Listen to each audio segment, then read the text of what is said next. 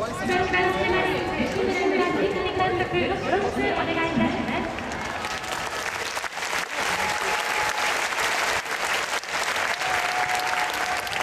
ンドのファンの皆様、まずは今年1年、我々に対する熱いご声援、誠にありがとうございました。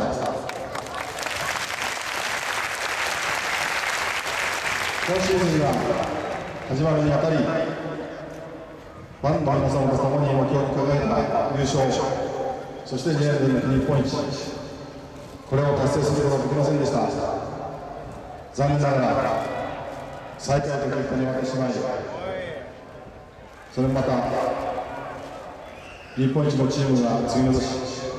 最下位というパ・リーグで初めてのくじ時で侮辱的なシーズンになってしまい、フ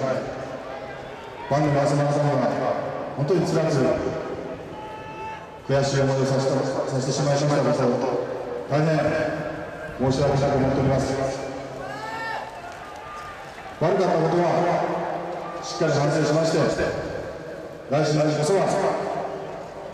ファンの皆さんと共に優勝そして日本一これを勝ち取るために頑張っていきたいと思いますどうか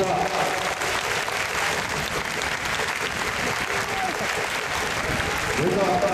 ファンの皆様方にはこれからも我々に力強いご声援をよろしくお願いいたします。本当に今年1年間ありがとうございました。